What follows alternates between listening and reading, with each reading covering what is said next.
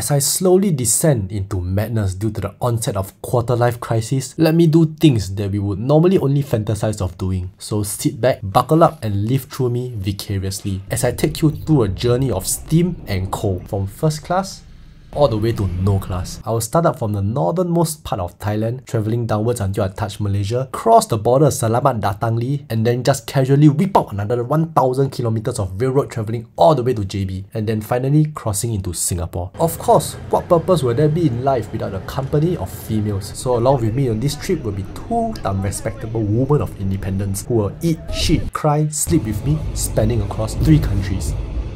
This is Chiang Mai Railway Station, originally built in 1922.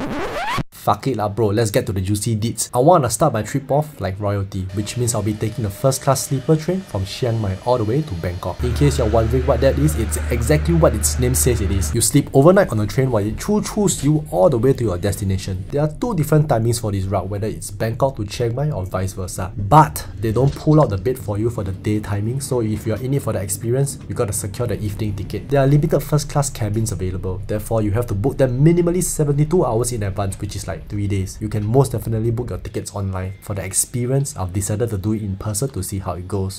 19 ไปรถนอนรุ่นเก่า ได้ไหม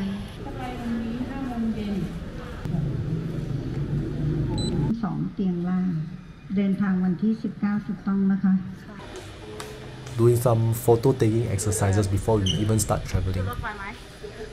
อยู่อยู่อยากถ่ายรูปกับรถไฟเหรอไอถ่ายแล้ว เราจะไปไทยอีก Alright, let's do a time skip to 3 days later. Here I am back at the entrance of Chiang Mai railway station. It's not that bad of an idea to stock up on necessities before going up. Every snack or roadside store is going to convince you to buy their food, claiming that there won't be anybody coming up in between stop to sell you food. Don't believe their scummy lies. There will always be people coming up to sell food in between each and every stop. Unfortunately, we got the short end of the stick because we got the older cabin. It's not just that the new cabins are cleaner or whatever. My main gripe is that I bought the first class for the Wi-Fi and the older cabins simply do not have them. There are some stretches along the way that do not have data connection due to a condition known as being in the bumfuck middle of nowhere. It's the same price whether it's the new or old cabins, so you just have to roll the dice on this one. And this is how the cabins look like. Inside each cabin, there's a personal sink, curtains, mattresses, and two electrical outlets. Kinda reminds you like the train to Hogwarts in Harry Potter, doesn't it? There's around 12 cabins just like that with the toilet all the way at the front. Now let's see how the toilet looks like. Nothing fancy except that the ceiling's a bit low, a shower head for you to shower, but sometimes in life, just because you can doesn't mean you should. The temperature's fine though, not too shabby. Maybe it's just me, but I wouldn't want my ass to be in contact with that toilet. Gonna try to flush. Okay, that's it, I'm out. And now it's time to take off. Gonna eat my omelette rice and enjoy the view while the sun's still up. Like I said, there will be people coming up to sell snacks in between stops Not up to my standard sanitary wise, but ยูมีไก่ทอดไหมยูไม่ได้เอามาใช่ไหม ไม่เออเอาอ่ะ เอาเอาเอาไก่ทอด เอาไก่ไก่ทอด ไก่ทอดเท่าไหร่ครับ Then again, it's for the experience. When the time comes, the conductor converts your day cabin into a sleeper cabin. It's already hard to feed a shit over a mattress when it's stationary. Now imagine doing it on a moving train. Oh wait, that's actually a cover for the pillow. You want to test ไหม They say they change they change the bed sheet the pillowcase everything smell for me how smelly or not ไม่ okay ทำไมต้องสเมลให้อยู่ด้วยอ่ะ Anyway, moving on, guardrails to prevent you from rolling over and blankets to complete the experience. Netting to store your whatever and a mini Naito Laito if you're afraid of the dark. After converting all the cabins into beds, it's finally time for a smoke break for him, not for me. It's just that I just nice capture this scene while waiting for my turn to use the toilet, so I decided to put this in the video and narrate it. Nothing much left to do since there's no Wi-Fi, so I guess I'll just call it a night with the sun rising in 3, 2, 1, action. After 13 hours, we are finally reaching Bangkok and with no time to spare, let's head on to the second leg of our journey. Now that we have arrived in Bang Sue Grand Station in Bangkok, this is where most trains in Thailand eventually end up at. The old one used to be at Hua Lamphong, but they closed down back in like 2022. A very slash R liminal spaces kind of vibe going on here. We have a bit of time to queue before our next ride, so it's time to freshen up. Now it's time to get aboard. Got my big boy iPad out this time. We bought our tickets online this time and one difference we noticed is that we weren't able to choose the seating arrangements online as compared to IRL. So if you are going to be traveling with 3 or more packs then you might need to put this thought into consideration. For this trip, we are taking the second class sleeper cabins. It's almost half the price as compared to a first class sleeper cabin but so far at first impression it doesn't really look that bad. Here's how the second class sleeper cabins look like. During daytime traveling it will be two seats facing each other. Whatever's up there will be converted to a bunk bed when it's time. It's a lot more spacious than expected considering that it's only for one person. And now it's off to Padang Besar. It's the longest trip on this route consisting of 18 hours. If everything goes according to plan, we should reach Padang Besar border by 10am the next day. There's a lot more people coming up to sell stuff this time round. ก๋วยเตี๋ยวไหมคะ มีมีอะไรครับ เส้นเล็กแห้งชิ้นปลาห่อละสิบบาทค่ะพี่ เอาเอาสอง ขอบคุณมากค่ะ ครับ ห้องน้ำก่อน โอเคโอเคไปครับ Let's check out the toilet after her while the sun's still up. At first glance, it's really small and compact. Extremely small sink that is certainly not good at its job. Nice views out the open window though, so at least we know that the toilet is not stanky due to proper circulation. Makes sense that there's a sink outside the toilet because the one inside doesn't work. Instead of going south straight away, we actually have to go west first. This is due to how Thailand is shaped, so it's kind of like traveling an inverted 7. Another seller on board, this one sells Muping sticky rice. Time to eat my 10 baht fishball bee hoon where the sun sets. I mean, it's 50 cents lah, gotta keep my expectations realistic. And as the sun sets, it's time to pull out the beds. Ultimately, the procedure is more or less the same as the first class sleeper cabins, but you get curtains instead of rooms for privacy. There's even a ladder to get to the top bunk. POV of how it looks like to be in the bottom bunk. อันนี้คือไฟปะ ไอไม่รู้อ่ะไปดิ ชิบหายละไอ้กลัว โอเค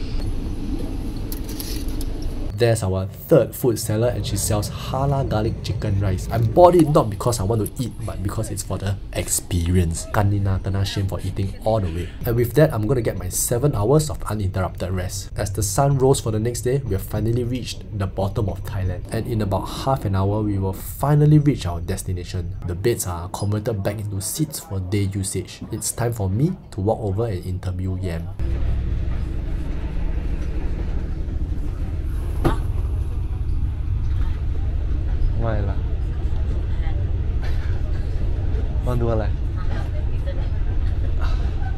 ยูไปดู M1 สิ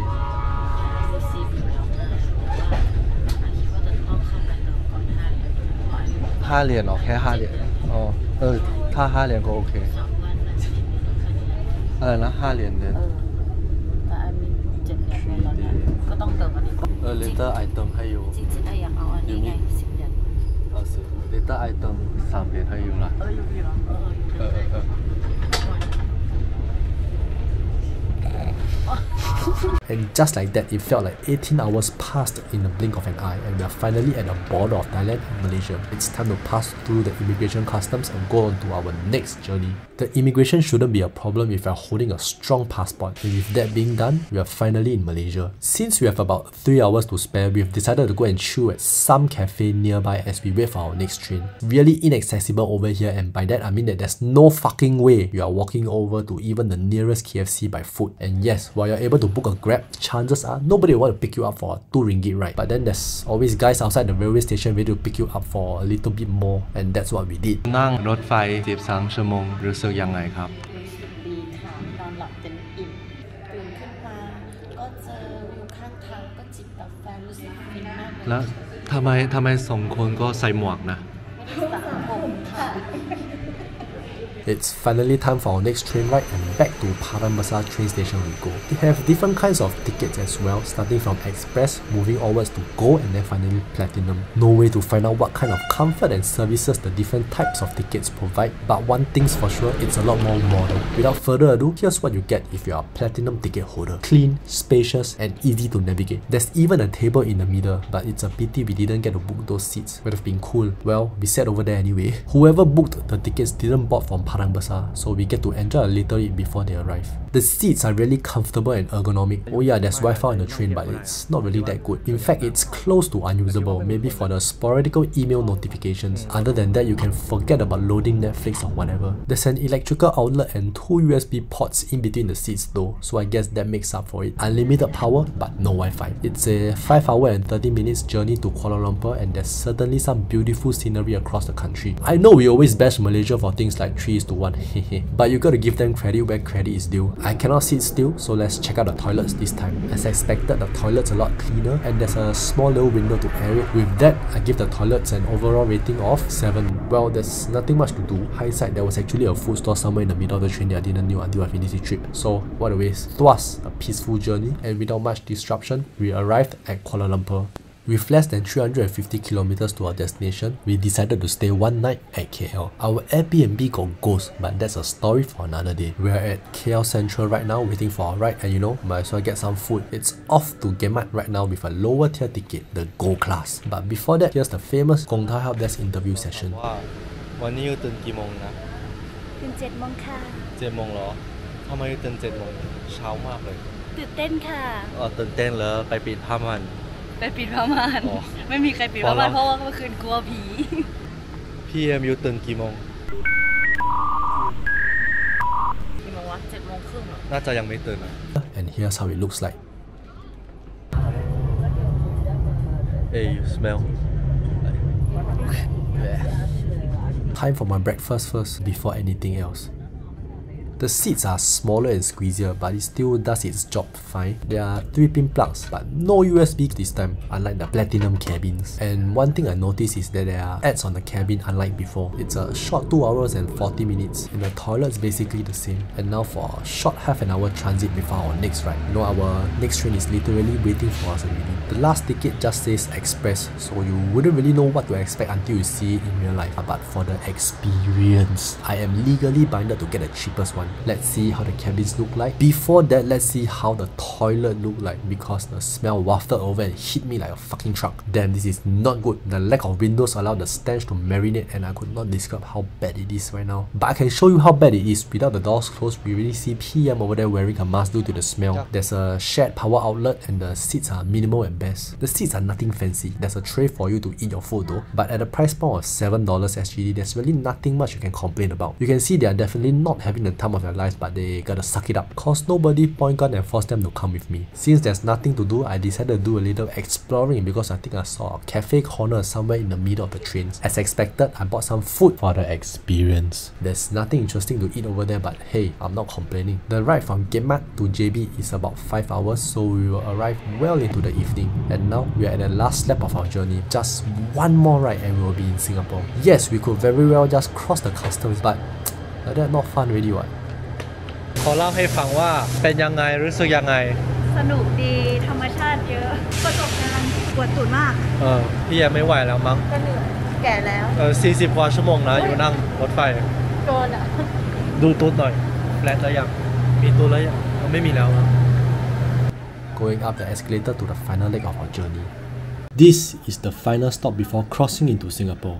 Fuck, I can't really zoom so let me just swap cameras. Okay, that's better. The important thing to note is that the gates are open 30 minutes before departure and they actually close 10 minutes before departure and the whole process of checking in takes around 15 minutes or so. Therefore, time is actually quite tight. You absolutely don't have time to eat KFC like me even though we know kampong chicken is the best chicken. Alright, the gates are finally open and the lines are surprisingly long but with 4 gantries in action, the queue actually dissipates quite fast. You won't be scanning any QR to enter as your passport will be your ticket. Do make sure that your passport number is correct while booking your ticket. After that, it's one level down to the customs officer. Once you are done, it's another level down to the trains and it's free seating and random so you can choose any cabin you desire. The seats are really spacious but it's only 5 minutes so there's that. Well, it actually isn't even 5 minutes but here we are. Finally, after 2,637 kilometers of railroad spanning 41 hours, we have arrived at Singapore. The last hurdle you have to go through is the Singapore customs but even then it shouldn't take too much time to clear them. Well, final thoughts. If you ask me whether this is a worth enough trip to go for, I would say go for it only if you have the time because it's 41 hours. It actually eats up quite a lot of time, especially in between transits. But if you are in it for the experience, it's actually quite decent, especially the route in Thailand because people coming up to sell stuff on the train, that is something that only sheltered little city fucks get to see on the movies, they don't actually experience it in real life. You can start your journey from Singapore or you can start it from Chiang Mai, it doesn't matter. But it might be more fun if you are actually planning to have stops in between so that you can actually experience and soak up the cities in between your journey, such as Gemas. Nah, actually Gemas got nothing lah, fuck. Like KL, even Hat Yai, you can actually stop at Bangkok and then in between Bangkok to Chiang Mai, you can stop at some,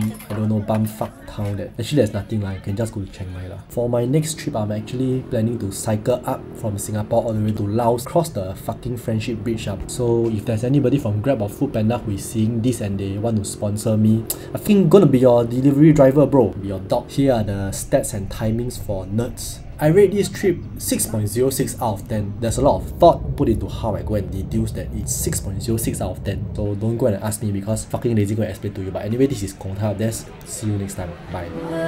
Don't say I never remind you but got new Gongtao Help Desk merch right now.